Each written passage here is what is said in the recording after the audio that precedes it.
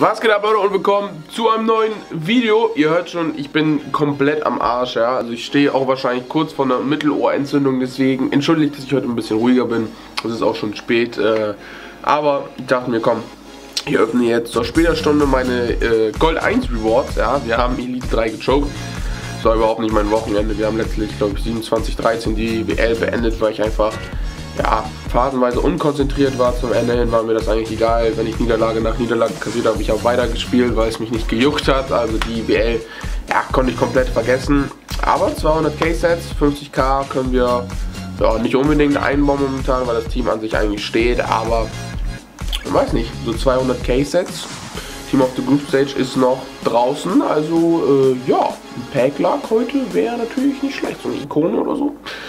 Ja, ist immer ganz nice. 200 K-Sets haben wir zur Verfügung. Ich weiß eigentlich nicht, also äh, ich gehe da nie mit Erwartung rein mittlerweile, weil es sind 100 K-Sets. Du kannst auch in meinem Fall mit keinem Schlitz rausgehen, sprich eins der schlechtesten 100 K-Sets überhaupt haben. Äh, ich hoffe jetzt aber auch einfach mal auf den Schlitz. Ich weiß nicht, irgendwas geiles, Special Card, Team of the Group Stage wäre geil, habe ich noch gar nicht gezogen. Einfach diesen blauen Flair zu sehen wäre nice. Ja, und ich würde einfach sagen, äh, wir fangen mal an mit dem ja, mit dem ersten 100k Set. Let's go. Schlitz hat eine andere Farbe. Hero? Wer ist denn Hero? What the fuck? Eltidor. Walkout. WTF. Da sage ich nicht Nein zu. Hero Eltidor? Als Walkout ist da. Also ich dachte, es wäre blau, aber dann war es doch nicht blau und ich weiß überhaupt nicht, was das für ein Team of the Week gerade ist, aber wir ziehen die Hero Eltidor. Ist da noch irgendwas hinter? Das wäre jetzt unnormal heftig. Eltidor haben wir schon... Ja, ja. Hero, Infor, Mustafi. Haben wir noch irgendwie so eine Jesus oder so auf der... Na, ah, Paolo. Äh, leider nicht. Fellaini, sonst noch Zelinski, Legende ist da. Paar 83er, was mir sehr gefällt, paar 84er, was mir auch sehr gefällt. Aber in Inform, Eltidor wird glaube ich nichts wert sein. 20k oder so. Ja, weniger. Egal, behalten wir aber die beiden auf alle Fälle für äh, Footness. Ne? Informs brauchen wir auf alle Fälle sehr nice. Und 84er, 83er, da seien die nice. Ja, deswegen, paar 84er, paar 83er dürfen hier auch nochmal dabei sein. 3, 2, 1, let's go. Kriegen wir nochmal einen bunten Schlitz, Team of the Group Stage oder so? Irgendwas buntes? Ja, normaler Schlitz. Aber irgendwas knackiges. Brasilien. Coutinho. Sei nicht nein zu. Also ich wusste das, ja. Neymar ist noch Team of the Group Stage, wäre jetzt zu heftig. Aber hey, Coutinho ist nice. 86er Walkout ist da. Ja, 200 Cases, 2 Walkouts ist auch nicht alle Tage so der Fall. Und den 86er Coutinho können wir definitiv, äh, ja, in dem Sinne gebrauchen, dass wir den für ein SBC abgeben. Ich würde auch sagen, wir skippen auch einfach direkt das Pack. Gucken, ob da noch irgendwas hinter ist, 85er oder so.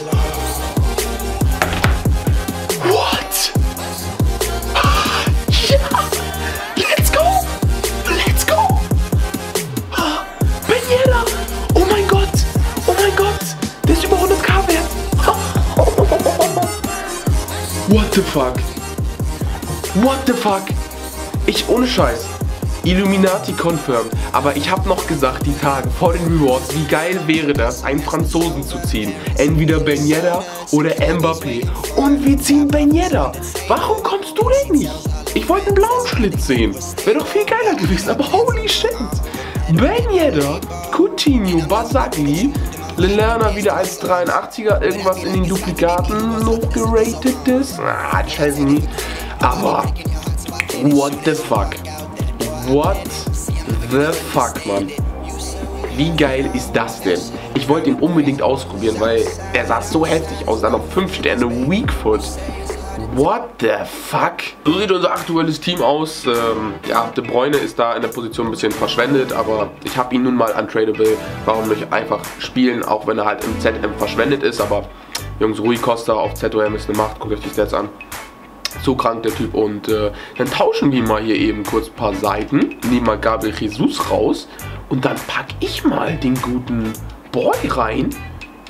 Den Ben Yedder. Also die Karte ist wirklich sick.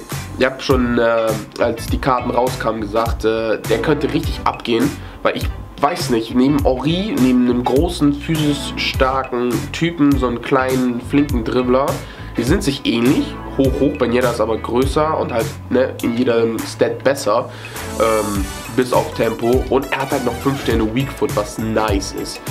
Benjeda vorne im Sturm, das könnte die WL ganz geil machen. Vor allem ist das Team jetzt bunter. Ich stehe da ja drauf, wenn das Team schön bunt ist. Jetzt haben wir nicht nur neben den drei Ikonen äh, ja, die zwei Informs, wenn jeder Team auf zur Group Stage da. Linksverteidiger wird, wie gesagt, Footmiss Roussillon kommen, wenn die Prediction dann aufgeht. Der hat die Nummer 24, sprich, er würde am 24. released werden. Ja, und sonst momentan habe ich eigentlich keine Verbesserungsideen, weil Couture habe ich mir erst frisch geholt.